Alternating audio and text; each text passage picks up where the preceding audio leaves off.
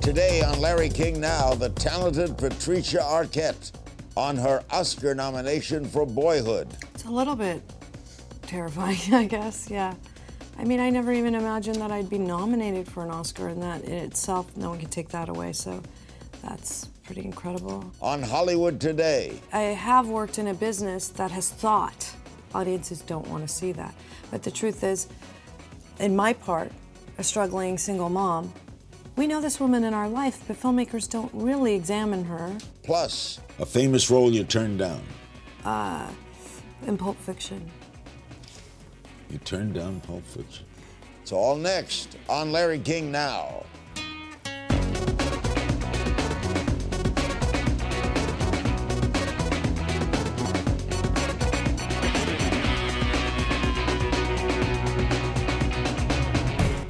Over the last three decades, Patricia Arquette has had one of the most eclectic and impressive careers in Hollywood.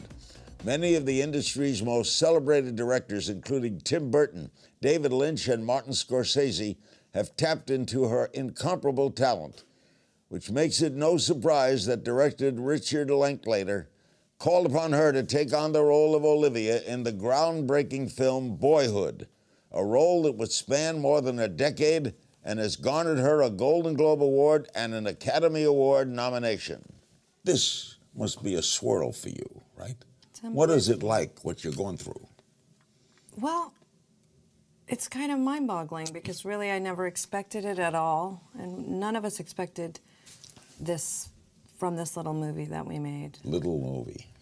It was like a project because usually you go to make a movie and a year later it comes out and the, and there's a lot more producers on the set, there's a lot more influence from the studio. But with this, the first year we went and shot and then it didn't come out. The second year we went and shot and it didn't come out. By the third year it really just felt and it was more about the process than anything. When they else. sat down and showed it to you, discussed the script and the like, did you think, well, I'm ready to give years of my life to this? Yeah, what happened was Richard called me and he said, um, I'm thinking about doing this movie where we shoot a week a year for 12 years. And everything in my body was like, yes, I want to do this. Yes? Yes, because I knew from film that that had never been done in film. We have a long history of film. It's very rare to, to be able to do anything that hasn't been done yet. And I also thought, how the hell did you get the financing? Because it's so hard to get movies financed, especially small movies now. Second of all, you can't contractually obligate anyone in America for longer than seven years. So the kid, our lead, could have left in the middle of it. And where would we be at that point? These are characters we see in our real lives, but we really don't see in movies.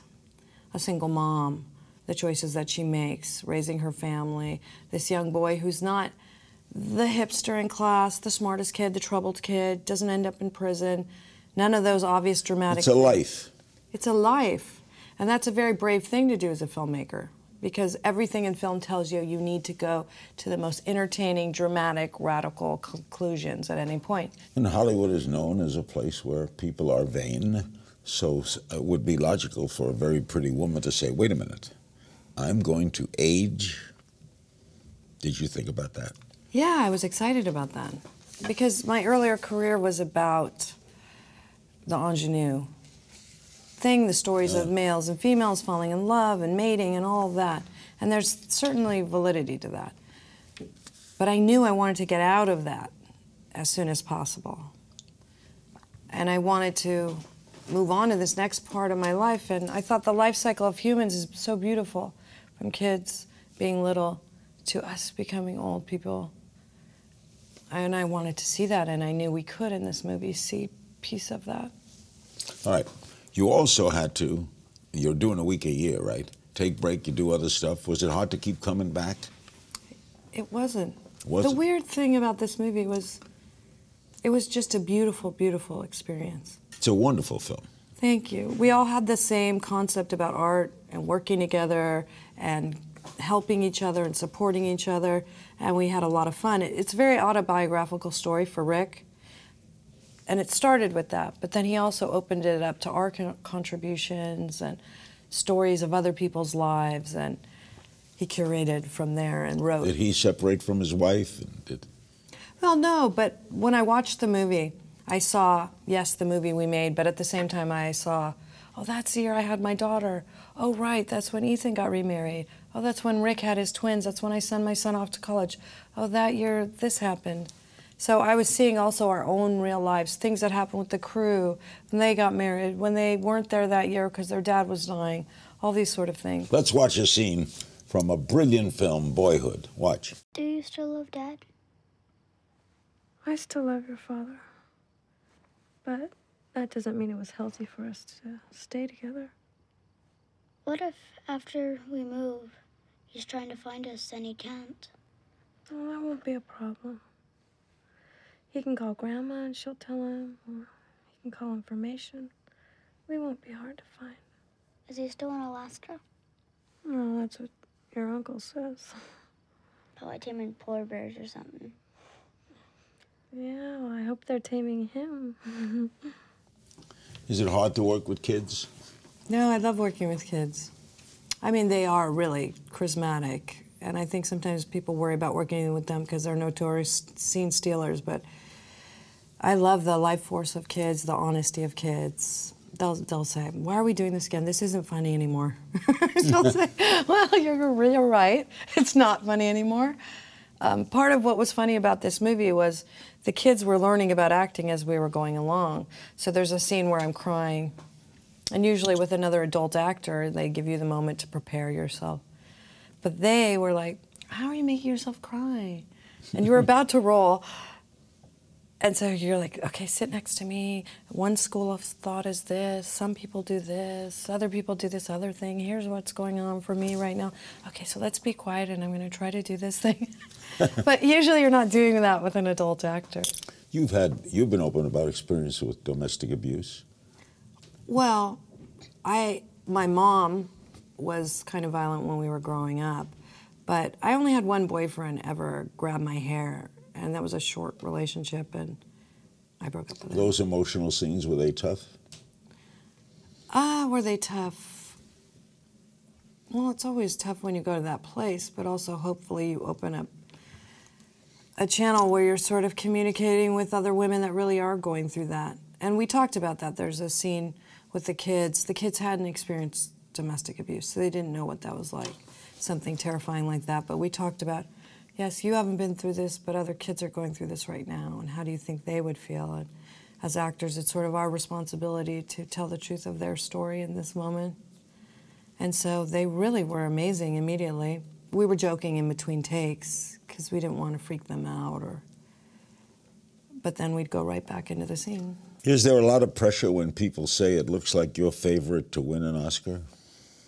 It's a little bit terrifying, I guess, yeah.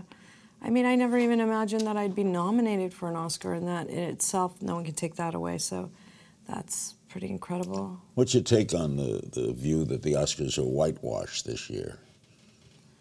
Um, because last year, 12 I, Years a Slave won. Right. Yeah. Well, I think really there was a lot of things that happened in between. I, I don't know that the screeners got in in time, frankly. I know a lot of people that didn't get their screeners in time to vote for nominations. Really? Yeah, a lot of people. Oh, that's that's a shame. Yeah. Uh, well, it came out very late in the year, so they didn't have much time. So I don't know that that's their fault completely either. I think it was maybe bad timing.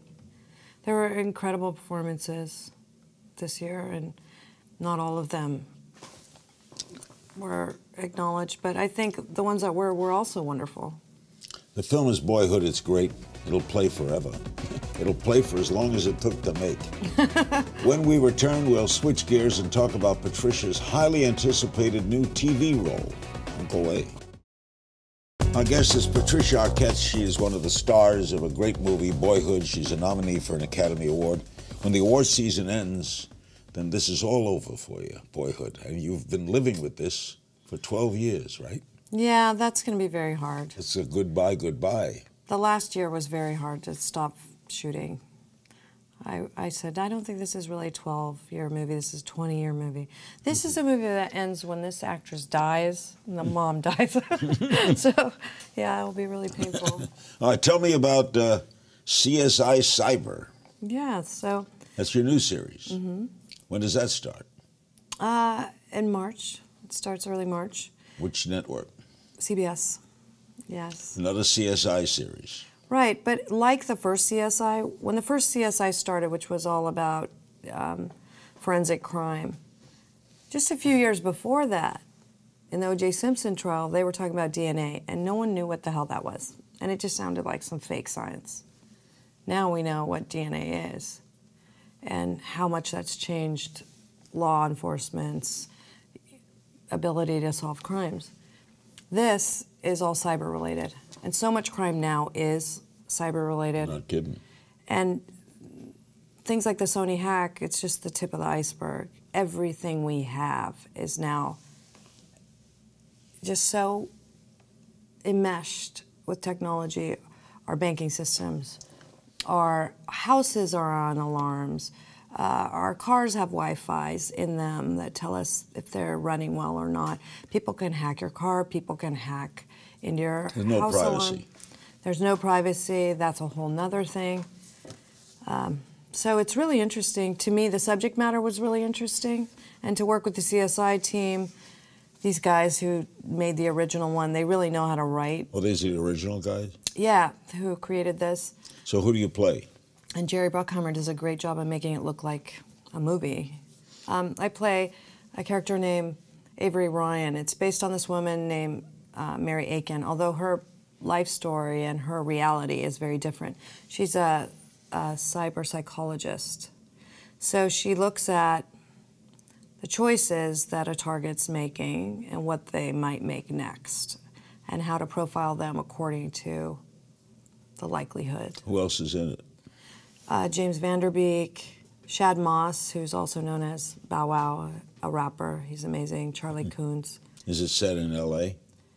Peter MacNicol. Um, uh, yes, it's it's not set in L.A. It's set in Washington D.C.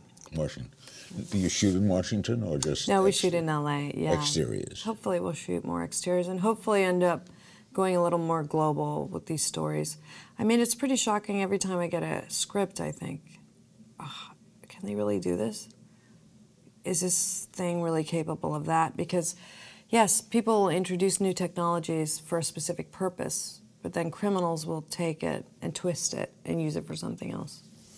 Do you have cyber experts around We do. so that the statements are true? Well, it's all fictitious. to bend a also. little. Yeah, yeah. It's it's storytelling. So these aren't actual crimes, but they're pieces of different crimes put together. Has this made you, having this role, learning more, made you more worry about it? Yeah. hmm Yeah. I mean, for me, it was a, a big stretch because I'm not tech savvy, and I already was a little suspicious of it, and now I'm kind of blown away by the vulnerability of it. You've had some great roles, though. I mean, Boardwalk Empire. What was that like? It was so fun. Those guys are great. I mean, great writers, great actors. I got to work a lot with Steve, and he's so generous and funny. And so I had a blast on that. My character was a real boozy, broad, tough, toughy toenails. You won an Emmy for Medium. Mm-hmm. Do you enjoy TV as much as movies, or is it film? Film. Well, it's different. You work as a group in a way like we did in Boyhood, but you work together every day as this team, and sometimes for years as an acting troupe, and you really know your crew and. But you have a time limit, don't you? You have a time limit. It makes your your brain faster for memorizing. You have to be more instinctual and move quickly. But in a way, it's not unlike small movies because you also don't have time on those. Patricia Arquette, Academy Award nominee, Golden Globe nominee, a star of a tremendous film, Boyhood. We'll highlight uh, Patricia's inspiring humanitarian work in our next segment. We'll play a little game of If You Only Knew. More with the Oscar nominee after the break. We're back with Patricia Arquette. The movie is Boyhood. In an interview with The Guardian, you said there really is a lot of pressure on actresses to look a strange and unrealistic way. You're not supposed to age. You're supposed to be perpetually incredibly attractive because that's the way the movie world is. You might be 50, but you need to talk 35. Frankly, there is no shorter shelf life other than that of a child actor than that of the ingenue. Hmm. Still feel that way.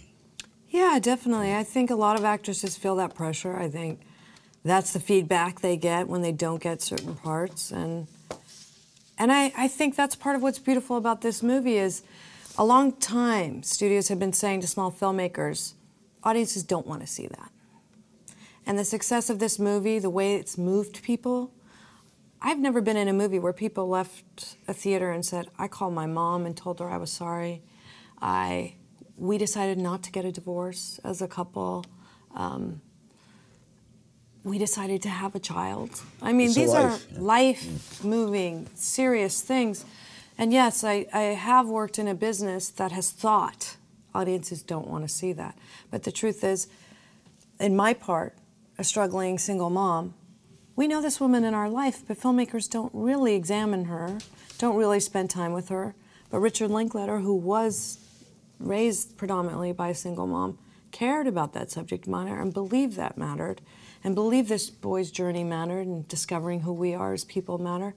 And now a lot of little movies are getting financed because people think they're similar to boyhood. You've always worked, haven't you?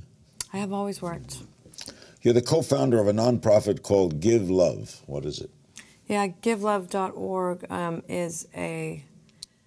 Well, at first, right after the earthquake in Haiti, we wanted to go down.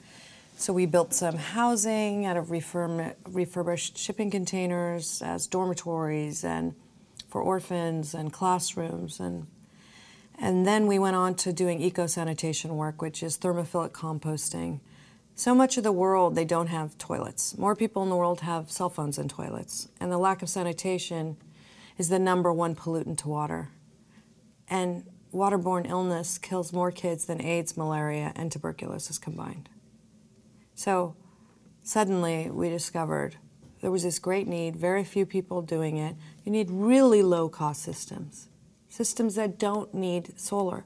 Because in the developing world, people will steal solar anything that's valuable, people will steal. So you have to have materials that are locally found, don't have to be shipped in, stuck in customs. You have to have things that are very low tech so people can fix them on the spot when they need to. So we really went for a system, a system that was as low cost as possible, as few working parts as possible, and that communities could learn to do for themselves. You do a lot of work in Haiti, right? Did a lot of work. Yeah. Sean Penn work with you there? He helped us a lot. We ended up just being a de facto camp management runner, which was insane. There's this area called Cité Soleil that's been called the most dangerous place on earth by the United Nations. And we ended up landing there. We were told we had land, which turned out to be land in dispute, so we were going to build on. But there we were. No one had tents, no one had food, no one had water. There was only one Italian NGO working in that area because it's in the red zone. So NGOs can't work there because people notoriously get kidnapped there. So we ended up sleeping in this tent camp. It was ridiculous. And I thought, me and my best friend who has four kids, we ended up having to go get food tickets and knock on the door of the UN, the Brazilian UN, and ask for a couple soldiers so we could pass them out these food tickets. And I was thinking, I was just watching this at home on TV. When you hear about all these tent camps, you think someone's doing something. You think there's some big aid group showing up and taking care of this. But it, it's not the way you think. It's not the way you think at all. For more information, it's givelove.com. Dot .org. Dot .org. Oh, yes, charities are org. Givelove.org. Mm-hmm. Uh, okay, we're going to play a quick game of You Only Knew. I just throw quick. Remember the first boy you kissed? Yes, I What do. was his name? Lewis. Lewis. How old were you? I think I was six and he was maybe nine Where was this? in Virginia, Where in Virginia? in Skymont near Front Royal. I know that territory. That's on the way to Shenandoah, right? Yeah. Yeah. A famous role you turned down. Uh, well, oh, uh, in Pulp Fiction. You turned down Pulp Fiction. Yeah, I'd just done True Romance, and I think something else was going on in my life at that time. But Uma was great in it. I'm really happy for her. Omitting Boyhood, what has been your favorite role? Hmm. I can't really answer that because they've all taught me a certain lesson. But True Romance was a very pivotal film for me. Tony Scott, who I really miss, Uh, taught me to listen to my own instincts as a woman. Did you have any idea that he was troubled? No, and you know, my instinct is that it was medical. You know, I, a lot of, I know a lot of people that took Ambien or sleeping pills that went into blackouts, so I don't know what exactly happened there. Any actor or actress that you'd love to work with? Oh, there's so many. Well, Gena Rowlands. Um, I worked once with Jessica Lange. I'd love to work with her again. Um, Diane Keaton. Director you'd like to work with? I could keep going with actresses. there's, a, there's a whole lot of them. Uh, directors. Um, Wong Kar Wai comes to mind. What was your life like as a teen in LA? Wild. It was crazy time. LA was filthy. Like you could see the air. It was like brownish yellow, strange. I spent a lot of time on Hollywood Boulevard. It Were was you wild? a disaster. I was really nice and I was a virgin for a long time and I was kind of like very proper inside, but I was also wild outside. So Hmm. I had a black mohawk and my friends were all punk rockers and we were took a lot of chances. Do you believe in real life mediums? I, I have had a couple experiences that were pretty undeniable, strange things no one could have known. Having said that, I think the majority of them aren't. And I think we all have a little instincts ourselves. Something, uh, something we would find on your DVR. Oh, well, let's see. Well, on my DVR, well, I have Boardwalk on there right now. Pet peeve. When men don't take the trash out? yeah. Uh, yeah. Good line. A guilty pleasure. Well, I, I do watch a lot of HGTV, like House Hunters International. Really relaxes me. yeah, I guess real estate porn. I look at like riads in Morocco and stuff like that. Something that really angers you. Well, there's a lot. I guess injustice, murder, war. Well, really, what drives me crazy right now is pedophiles and rape. Nothing I like about that. Something makes you laugh. My boyfriend makes me laugh. What does he do? He's a painter. His name's Eric White. He's an incredible painter. Your most cherished memory. Well, it would have to be my kids having my babies. How many? Two. Are they grown? My son's 26 and my daughter's 11. My son Enzo, my daughter Harlow. Up next, we'll wrap things up with some questions from Patricia's fans on social media. You've heard of that. Don't click away. We're back with Patricia Arquette. We wish her the best of luck on Academy Awards night. I hope she wins for her role in Boyhood. How's David? How's the fam? David Arquette was here uh, a while ago, in and out of rehab. How's he doing? He's doing great. He's David is the nicest person I've ever met on earth. Good guy. Oh my God! Every time I'm with David, his phone will ring. I'm like, "Who are you talking to?" Well, I'm trying to help this guy. He's very sick and he needs a ride to the doctor, and he's just always helping people. He wants everyone to do well. He has the most beautiful heart. What kind of name is Arquette? French? It's French, yeah. And how's Alexis? Great. She was here a couple of years ago, too. Yes, I know. I saw it. Yes. Is it hard watching yourself back during the early boyhood scenes? No, it, it's a little bit like, wow, wow, I was very young. wow, I'd already been through a lot. I already had a 12 year old. I mean, I look oh, young yeah, in that, yeah. but I already had a pretty grown up kid. Um, but as an actor, it's weird because you'll be turning the channel and sometimes you'll bump into your younger self. I don't think people really go back and watch their home movies all the time. No. But as an actor, if you've been working a long time, I'll turn the channel and see Ethan when he's 14 on TV. Like, wow. Do you have a favorite scene in the film? You know, I think Ethan does such beautiful work. He's such an incredible actor, and he always makes his projects better, and he's so generous of an I think he's been, this weird term, underrated over the years. I think actors really know he's a serious heavy hitter, and I think directors appreciate that too. And he's he's had some big movies for sure throughout the years, but I think act, that Ethan's one of our great treasures. We have some social media questions. Only one Valerie on Twitter. Do you remember the first film you ever saw? I think it was Dumbo, and then and then it was uh, what was it called? That movie. Um, hmm. It was the only Native American lead action movie, Billy Billy Jack. Billy. Oh, Bill. Oh, yeah. So I saw Dumbo a- and then Billy Jack. That was a hell of a movie. That was a hell of a movie, Billy Jack. So was Dumbo. Dumbo broke my heart. Yeah. My boyfriend hasn't seen it yet, so I'm going to show him. That scene with Mrs. Jumbo when she's in jail is one of the best ever. Uh, Javier Relax tweets, "What's your fondest memory from the making of True Romance?" Well, we played a trick once on um, Michael Rapaport. That was pretty funny. We did some pranks on people. Are you a prankster? I've been known to prank once in a while, but I haven't for many years. That's the most dangerous kind of prankster. Not someone pranks all the time, just Yeah, you never occasional. know. Yes, you slowly wait and then you do your prank. It's not though she did it again. Wait another decade, prank again. like making a movie. uh, Joe Dotson five on Instagram. Did the Boyhood cast become its own family? yes. I mean, yes. Here's the thing when Rick cast Ellar, the lead boy, he also cast the parents, who are both artists and really into this concept of their son doing this and loved Rick's movies already and understood. Had he had different parents, maybe we wouldn't have finished this movie. Maybe he wouldn't have grown up to be who he was. So he has a great family in his own, and it was part of the boyhood family, his family.